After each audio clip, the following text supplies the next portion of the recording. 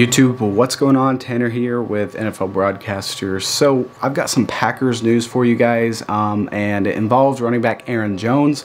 But before I get into that, I'm going to ask you guys to go ahead and hit subscribe because we have an issue here on the channel. We have about 96% of the viewers are not subscribed to the channel. So if those 96% of viewers subscribed, um, it just means that many people could come back again for my future videos. So guys, it just takes a second to hit subscribe, so please do that.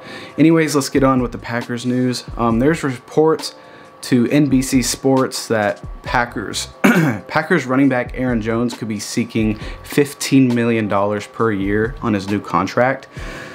Um, I don't see the Packers paying him $15 million a year. That's a little uh, absurd for a running back. It makes sense. I mean, running backs, I think Christian McCaffrey is making a, I don't know how much per year. Um, I think he had like a record setting um, extension, but you just, everyone has learned that you just don't want to extend a running back. Look at Ezekiel Elliott with the Dallas Cowboys. Um, my guess is that he's going to hit free agency and get signed by someone else. The Green Bay Packers are not going to bring back Aaron Jones for $15 million a year.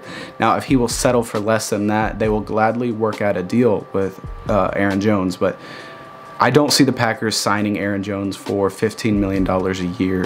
That's just not something that's in the books right now for the Packers, especially that they're trying to make cuts, restructure contracts, and um, sign free agents for to help improve the team overall. Like, uh, hopefully signing J.J. Watt, and I don't really think that's going to happen, but and they need to sign veteran wide receivers as well. So tell me what you guys think down in the comments below. Aaron Jones is not going to be back on the Green Bay Packers if he's seeking $15 million a year. Tell me what you think, though. Um, do you think if it's the Green Bay Packers, will he settle for less than 15 mil a year, or is he going to seek that, not get paid that by the Green Bay Packers, and uh, hit free agency and get signed elsewhere?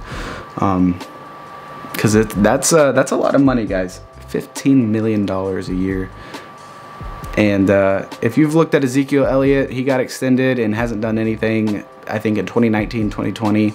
I still think Ezekiel Elliott is a great running back. Um, and he's had an offensive line that's been getting hurt, and it was, it was a star-studded offensive line that has kind of gone to crap over the last couple years. But I, it's just a risky play to pay a running back that kind of money. So tell me what you guys think down in the comments below. Make sure you subscribe. Thank you so much for watching. See you later.